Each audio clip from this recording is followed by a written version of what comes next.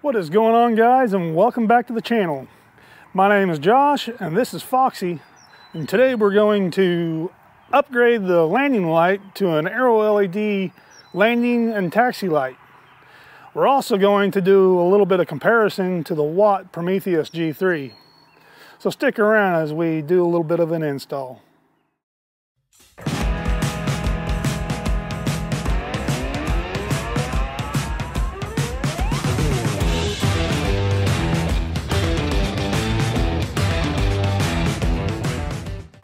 Hey guys, what's going on?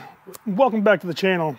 Hey, this is a uh, video that I've been trying to get done for quite some time now. Uh, I've been so busy that I've kind of put this on the back burner, but I got the plane all squared away off of my annual and I got some tests studied for and now I'm ready to move on to try to do some more upgrades and stuff.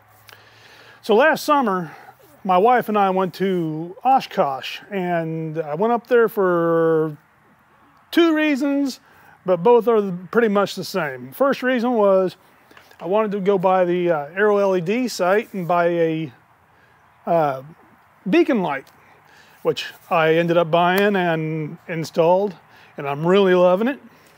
And I also wanted to go up there and get their landing light. Now this is a uh, the Aero LED Equinox landing and taxi light all in one. Plus it has some other features too. But while I was there, I ended up getting a Watt Prometheus G3. And I figured I would end up making a little video on comparing the two and doing a little install and see what both of them look like in my plane. So let's start off with uh, the packaging on both of them. Just, they're both pretty nice packaging. This is a, just a cardboard box.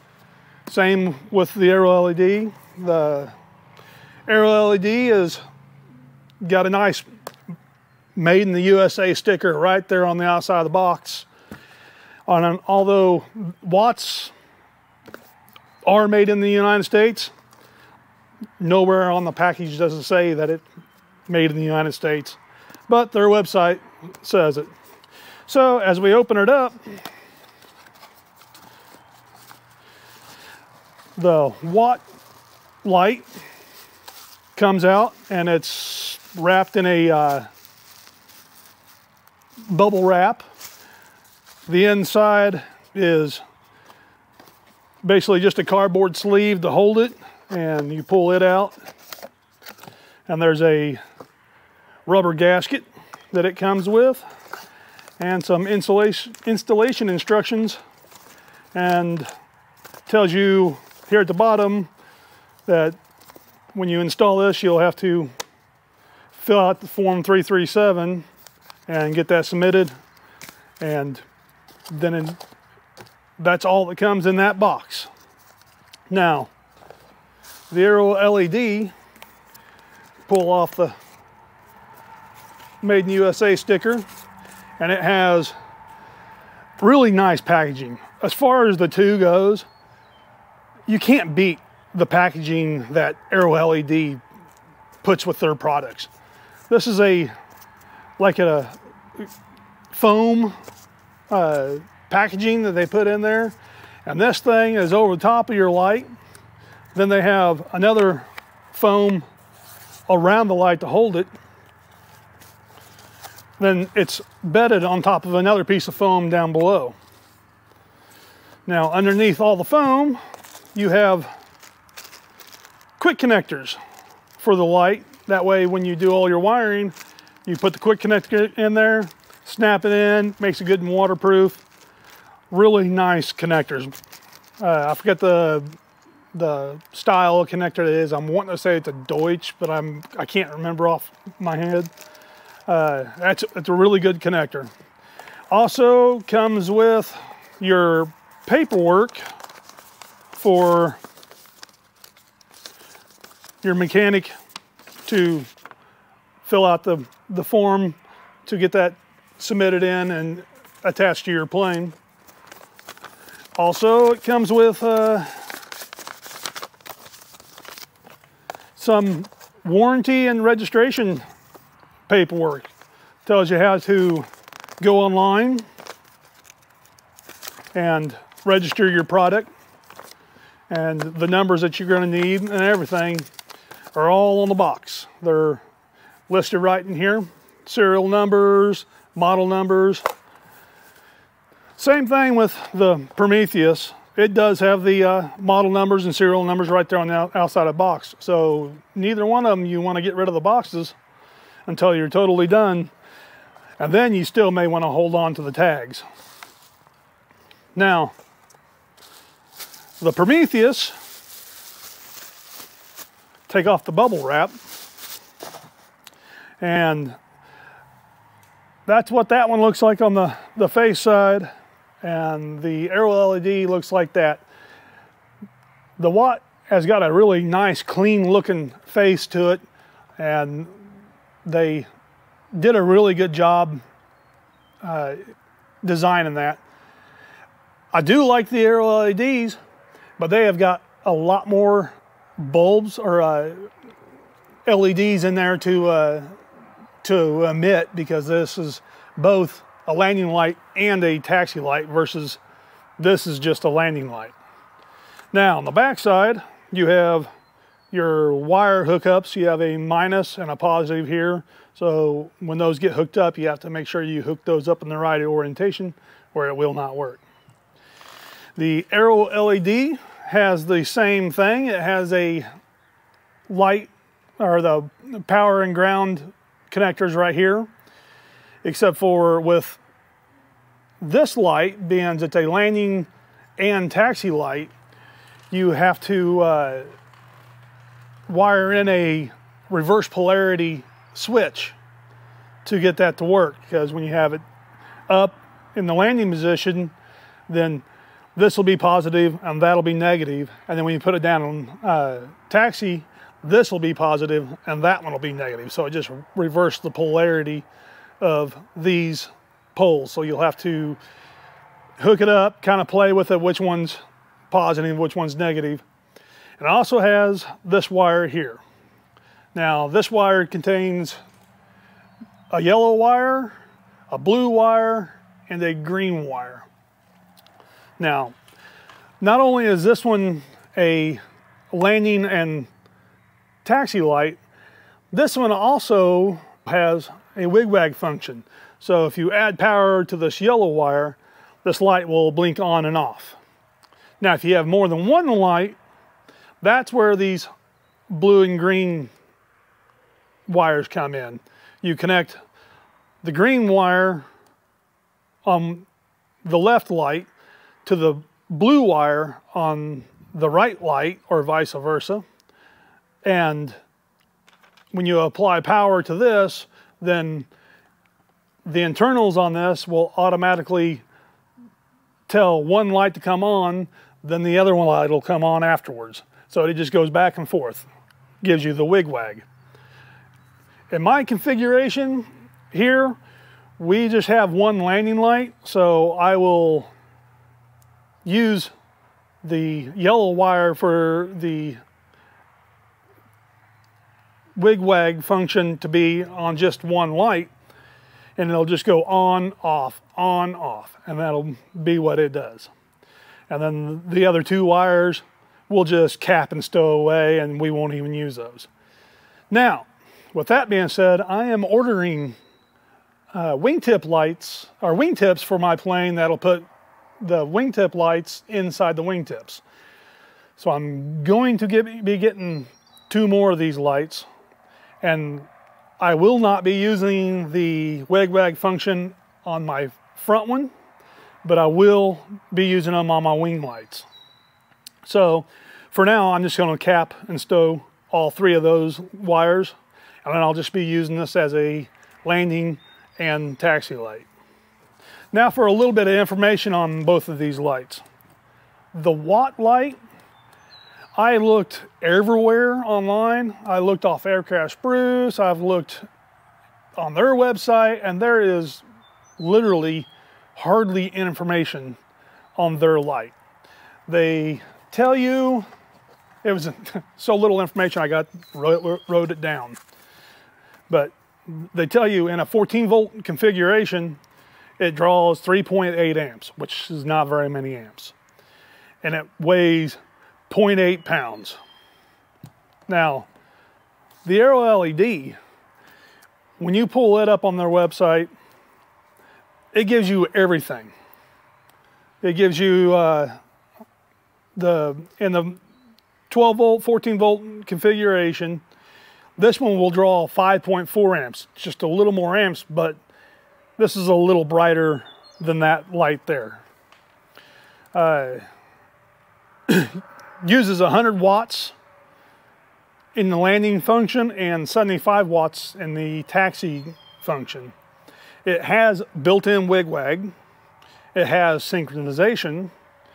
And the lumens are 11,000 lumens. Candelas are 210,000 candelas on the landing function and 65,000 candelas on the taxi function.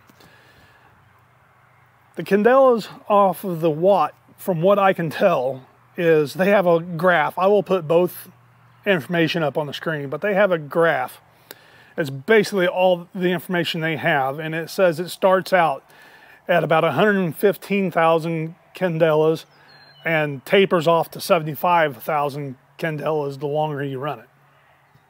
At the brightest point, this thing produces 115,000 candelas versus the Aero LED's 210,000 candelas. So it's almost one and a half times brighter than the watt. That's pretty bright. They say you, got, you can see this light from an extreme distance away. We'll be trying that out. Now, the landing light on the Aero LED shoots a 20 degree by 20 degree beam out in front of your plane and when you switch it over to taxi it goes to a 20 degree by 45 degree. Because that way when you're coming in you can switch it over to taxi and light up the sides of the runways a little better. And for people like me that live out in the middle of nowhere where there's deer on the airport all the time, that's one of the things I worry about every time I come in to land is where's the deer at on the side of the runway. That is the number one reason why I wanted to, to buy this light. Now, the weight on this one says 11.5 ounces. All right, now let's weigh the watt light and see what it weighs. We have it zeroed out at zero, zero, and we'll put the watt light on. And it says 13.3 ounces. Does not weigh very much. Now, this one here, the Aero LED, let's see what it weighs. Still zeroed out. 11.5. So, so basically the watt weighs two ounces more than the Aero LED. Now, if we go over here to the bench over here, we'll try hooking them up and see what they look like. All right, over here I have power supply and we have our lights and let's hook them up and see what happens. So all we're going to do is our negatives over here. We'll hook that up there and our positives there. We'll hook that up there. Turn it on. Turn the switch on and it lights up. It is bright. It is sunshiny out today, so it's all right. With that being said, we'll go ahead and turn this off. We'll unhook the watt light and we will hook up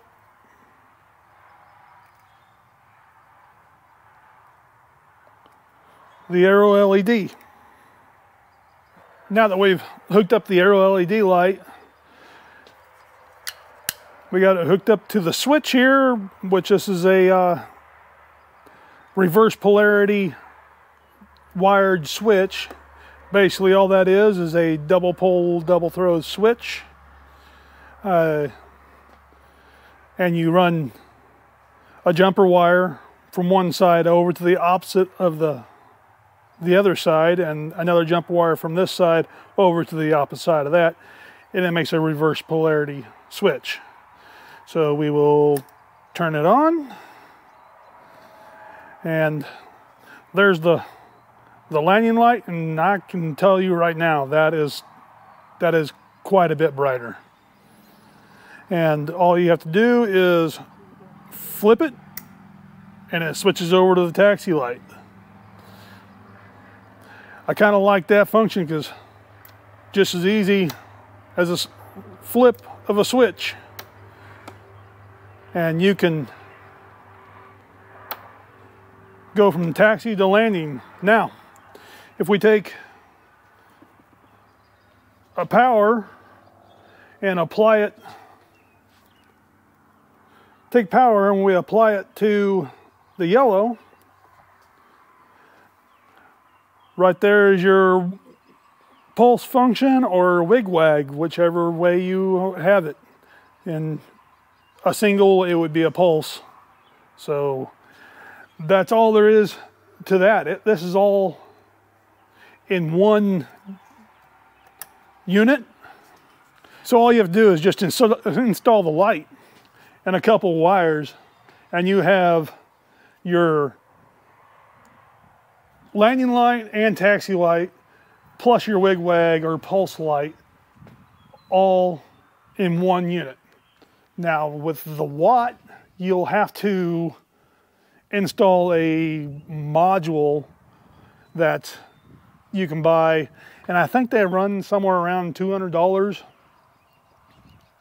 ish uh, to be able to make the watt light wig wag and then you have to still install separate switches and everything and with the Aero LED it takes that module completely out because it's built into the unit. Now let's talk about the cost. And this is where the watt will shine just a little bit, depending on which way you want to think of it. The Aero LED will set you back about $850, which is a little pricey for a light. But when you think that you have your landing and taxi light plus wigwags all in one, then it's not real bad. The watt will run you about $400. Both of them were priced off the same website. So thinking of it that way, this one's $400 and that one is $850. But to get this one to pulse or wigwag, you have to spend another 200 some odd dollars just for the controller to drive that. So there you're looking at around $650 for this one here and you still just have your landing light. You don't have a taxi. That's where I think just a little extra money to have all those features all in one product is right up my alley. So to me, I think as far as price wise, I like the Aero LED. Now let's go ahead and do a little, little install and see what they look like. All right, changing these lights on these PA28s is pretty easy. Just four screws and this whole thing comes off.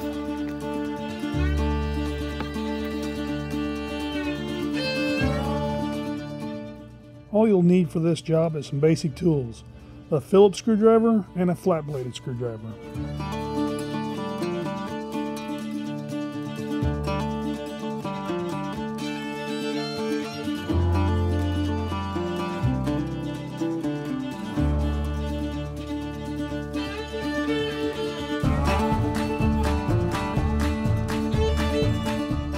Now that all the wire connections are made, only thing you have to do is do a quick test and put things back together. It's also a good idea while you have everything apart just to take this time to clean everything up before you put it back together.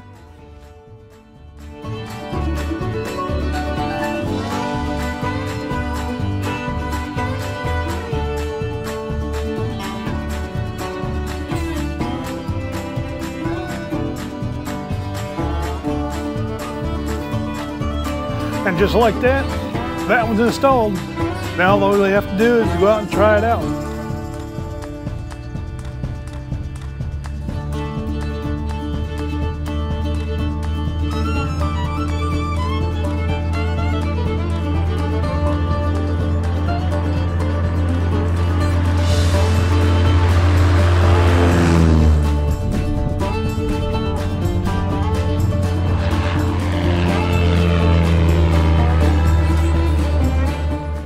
First impressions of the lights were they both were considerably brighter than my original light.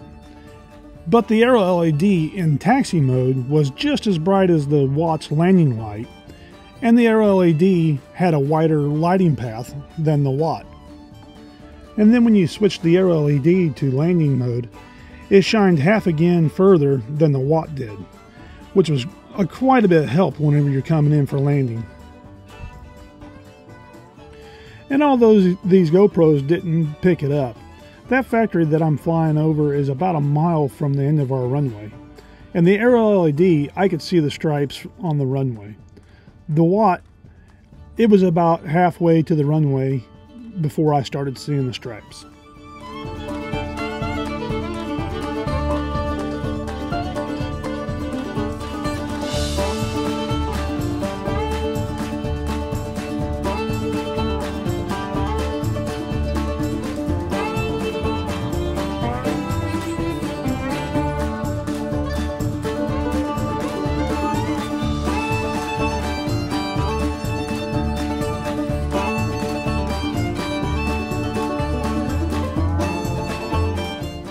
Like I said, our runway has a lot of deer. And the plus about this light is when you're on your approach, you can flip it over taxi and light up the sides of the runway. And uh, I'm really enjoying that so far.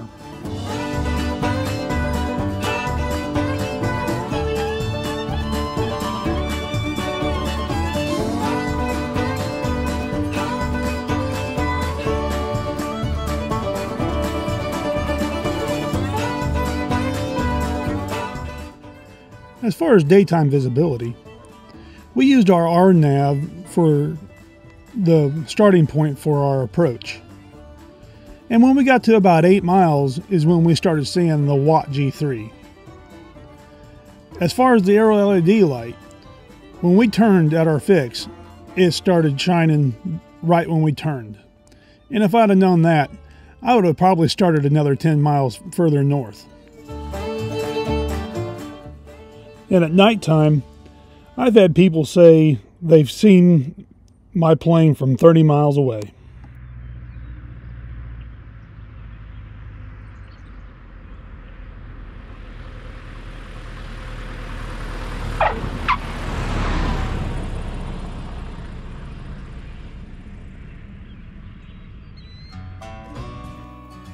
Okay guys, uh, it's going wrap it up for this upgrade. I really am gonna like this Aero LED light. Between the two, I think uh, both of them were definitely brighter than the one that I originally had on my plane. Just this Aero LED just seemed to be so much brighter.